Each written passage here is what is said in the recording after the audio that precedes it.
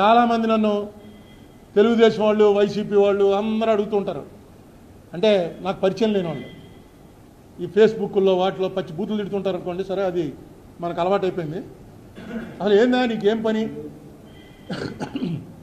మొన్న కరోనా వచ్చింది మా కర్మ నువ్వు చచ్చిపోకుండా బతికేసావు. ఇలాగే పెడతారు. అంటే ఇది చాలా గౌరవంగా పెట్టినట్టు.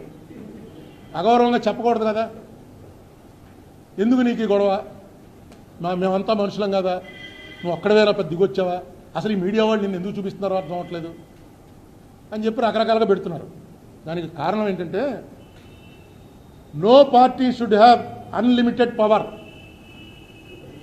and it was bad for the people to remain idle and indifferent if that stage of affairs came into being a ప్రభుత్వానికి కూడా విస్తృతమైన అధికారం అతి బలమైన అధికారాలు ఉండకూడదు. అలా ఉన్నప్పుడు ప్రజలు కనుక నిర్లక్ష్యంగా నిర్లిప్తంగా పట్టించుకోకుండా ఉంటే అది దేశానికి చాలా ప్రమాదం రాష్ట్రానికి చాలా ప్రమాదం. ఈ మాట ఎవడో చెప్పుంటే దీన్ని నేను కోట్ చేయను. ఈ మాట చెప్పిన మనిషి doctor B R Ambedkar. Doctor B R Ambedkar క్లియర్గా ఏం చెప్పాడంటే అన్లిమిటెడ్ ఆవేళ నెహ్రూని ఉద్దేశించి చెప్పాడు. అన్లిమిటెడ్ పవర్స్ వచ్చాయి నీకు. నెహ్రూ అంటే ఆయన ఎప్పుడూ ఒక బ్యాడ్ మాట చెప్పలా. Nehru is a name man అని చెప్పాడు. అంటే మంచివాడు బోళా మనిషి అని.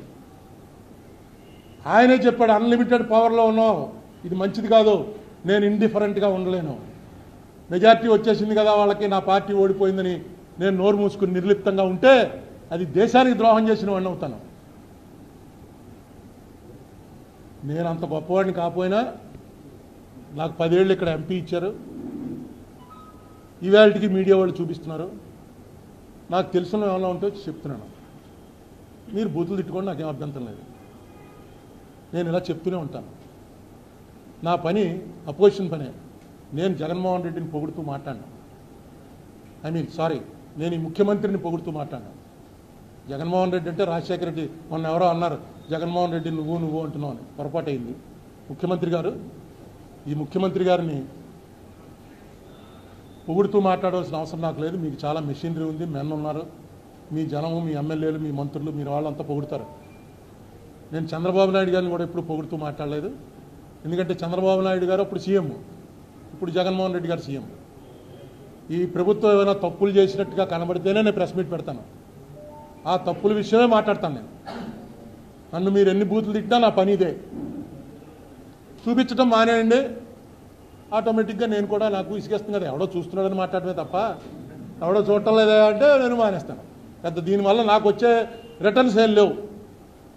నాకు వచ్చేటువంటి బెనిఫిట్స్ ఏం లేవు. నన్ను చంద్రబాబు నాయుడు గారి ప్రభుత్వం ఏ రోజు పట్టించుకోవాలా?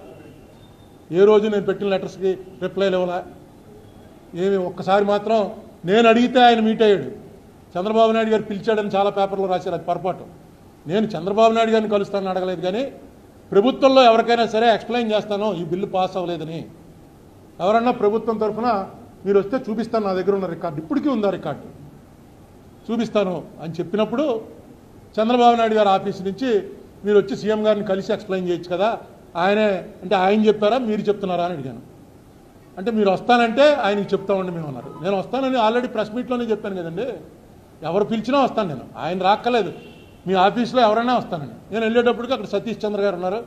బహుశా ఆయన్ని డిప్యూట్ చేశాడేమో అని సతీష్ చంద్ర గారికి మొత్తం ఎక్స్ప్లెయిన్ చేసి ఆయన ఊర్లో లేరు. గుంటూరులో మీటింగ్లో ఉన్నాడు ఆయన. నేను వచ్చేస్తుంటే సతీష్ చంద్ర గారు ఆఫ్ చేసి ఇప్పుడే వైర్లెస్లో వచ్చిందండి. మిమ్మల్ని ఇక్కడే ఉండమన్నారు.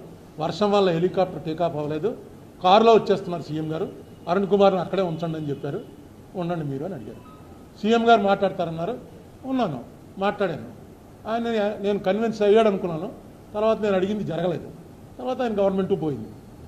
ఈ గవర్నమెంట్ రాగానే ఫస్ట్ నేను రాసిన జగన్మోహన్ రెడ్డి గారికి లెటరు ఆ రోజున చంద్రబాబు నాయుడు గారికి ఏదైతే రాశానో చంద్రబాబు నాయుడు అన్న పేరు మార్చి జగన్మోహన్ రెడ్డి అని పేరు పెట్టి అదే లెటర్ పంపించాను అడగండి కేంద్రంలో అని. ఈ గవర్నమెంట్ నుంచి నాకేం రిప్లై రాలే. రాదని తెలుసు అడగలేరు వీళ్ళు. అడగరు. లోక్సభలో తలుపులేసి బయట కూర్చోబెట్టి బిల్లు ఎలా పాస్ అయిందండి అని ఒక చిన్న ప్రశ్న కూడా నేనే తయారు చేసి పంపించాను. మీరు ప్రశ్న తయారు చేసే అవకాశం కూడా లేదు. అవసరం కూడా లేదు.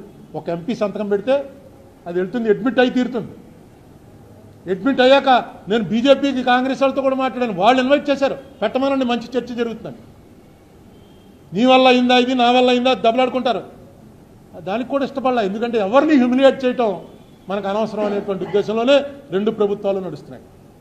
కానీ ఇది పబ్లిక్కి సంబంధించిన ఇష్యూ నేను ఎప్పుడైనా ఎవడైనా అడిగేవాడు మూడో రాష్ట్రం ఇంకో మొన్న రామకృష్ణ గారు ఫోన్ చేశారు.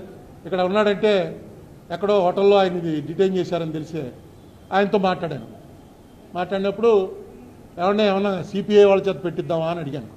నేను ఎప్పుడో చెప్పాను కదా పెట్టిద్దామని రండి. నాకేంటంటే మన రాష్ట్రానికి సంబంధించిన మన రాష్ట్రం వాడు ఎవడన్నా పెడితే బాగుంటుంది కానీ ఎవడో కేరళ వాడో బెంగాల్ వాడో వచ్చి ఆంధ్రప్రదేశ్ గురించి క్వశ్చన్ వేసి ఆంధ్రప్రదేశ్కి అన్యాయం జరుగుతుందని. నాకు ఎందుకో ఇంకా దానికి మౌల్డ్ డెవలప్ అయింది. పెట్టిస్తాను. నేను బతికుండగా పార్లమెంట్ అంటూ కూర్చుని జరిగితే ఇప్పుడు ఇప్పుడు జరిగినట్టుగా ముక్కు కా కాగితాలు గుడ్డలు కట్టుకుని జరిగేది కాకుండా మామూలుగా కరోనా లేకుండా జరిగితే ఏదో ఒక రాష్ట్రం వాడి చేత మన రాష్ట్రం వాళ్ళు ఎవడో పెట్టనంటే ఎవడో ఒక రాష్ట్రం వాడి చేత పెట్టించో కనీసం ఎలాగ మనని చంపేశారన్నది. ఎందుకంటే మోడీ గారే చెప్పాడు తల్లిని చంపి బిడ్డను బతికించారండి ఆ తల్లిని ఎలా చంపేశారు అన్నది తెలియాలి కదా. రికార్డు ప్రకారం తెలిసింది మనకి. లోపల ఉన్నటువంటి మెంబర్స్ కూడా మాట్లాడతారు. ఎలా పది ఎందుకు చేయవలసి వచ్చింది ఎలా చేయవలసి వచ్చిందని. ఎందుకో మన వాళ్ళకి ఎవరికి వాళ్ళకి ఇష్టం లేదు వీళ్ళకి ఇష్టం లేదు. ఏదో నడుస్తుందిరా అనుకుంటున్నాం కానీ ఏం నడవట్లేదండి. చాలా దురదృష్టకరమైనటువంటి పరిస్థితుల్లోకి తోసివేయబడుతున్నాం. పోలవరం గురించి ఆ లెటరు అంటే ఏంటంటే మొన్నటిదాకా చంద్రబాబు నాయుడు గారు ఏమయ్యా ఎప్పుడు ఇస్తామని అడుగుతున్నట్టుగా మనకి ఇచ్చేవారు. వాళ్ళు ఏం చెప్పేవారు ఇస్తామండి ఉన్నప్పుడు ఇస్తాం. ఇప్పుడు డబ్బులు అప్పు తీసుకున్నావు. అప్పు తీసుకున్న తర్వాత వచ్చి అడుగుతుంటాను ఏం గురు డబ్బులు ఏంటని నువ్వు ఇవ్వని నాకు తెలుసు? ఏడు డబ్బులు ఏవి అంటే ఇస్తాను కదా కొంచెం టైట్గా ఉంది ఇస్తానులే అని అలా అంటుంటాం ఎదురుపడ్డప్పుడు ఎదురుపడ్డారా ఎదురు బాగుందని మనం అడుగుతుంటాం అలాగే ఉంది పోలారం గొడవ. ఈవేళ ఏమైందంటే నువ్వే నన్ను పిలిచి ఓయ్ అరుణ్ కుమార్ వెళ్ళరా? అని పిలిచి నీకు నేను డబ్బులు ఇవ్వాలి కదా జేబులో చెయ్యట్టి జేబులో జేబురుమాలు తీసి తుడుచుకుని నేను ఇవ్వను. నీ దిక్కున చూడ చెప్పు అది లెటరు? ఇప్పటిదాకా ఇంత దారుణంగా లెటర్ ద్వారా కమిట్ అవ్వాలా? ఇదే మీకు ఇచ్చేది ఇంక ఏడు వేల కోట్లు వస్తుంది. ఈ ఏడు వేల కోట్లను ఒక లెటర్ ఒకటి రాసి పంపించడం అనేది ఇంకా మనకు ఏదో బేరం ఉందిలే అనేటువంటి ఏమో ఎప్పుడో లాటరీ తగిలితే ఇస్తాడేమో చెప్పలేం కదా. కౌన్ బనేగా కరోడపతికి వెళ్తాడు కోర్టు వచ్చినప్పుడు నా పది రూపాయలు ఇచ్చేస్తాడేమో అని ఒక ఆశ ఉండేది. ఇవ్వను నీ దిక్కుని చోట చెప్పు ఆశ కూడా పోతుంది. వెంటనే తిరగబడాలి. ఎప్పుడో ఆరు నెలల తర్వాత తిరగబడితే కాదు.